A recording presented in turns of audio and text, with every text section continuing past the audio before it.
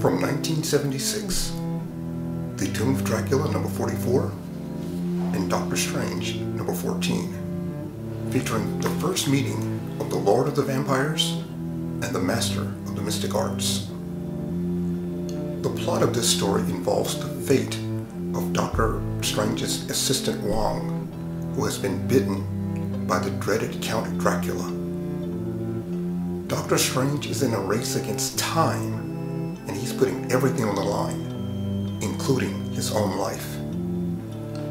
This two-part adventure, written by Marv Wolfman and Steve Englehart, showcases the strengths, the weaknesses, and the sheer will of power of both the Sorcerer and the Dark Prince.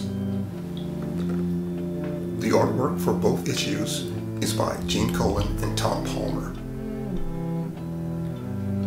Gene Colan has a penciling style that borders between gothic and noir.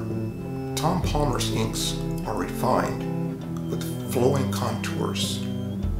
Here, he enhances the pencils of Gene Colan, but he does not obscure Colan's signature ambience and silhouette. Both of these books are reflective of popular culture at that time. For almost 20 years, Hammer Films had entertained us with vampire tales on the big screen. Also, the public in general was enamored with the tales of mysticism and the paranormal. During this time frame in 1976, Arthur Anne Rice also produced perhaps the greatest and most popular of modern vampire tales in Interview with the Vampire.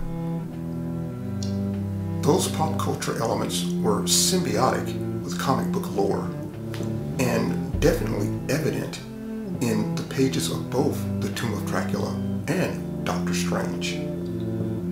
I recommend both series as an addition to your comic book collection.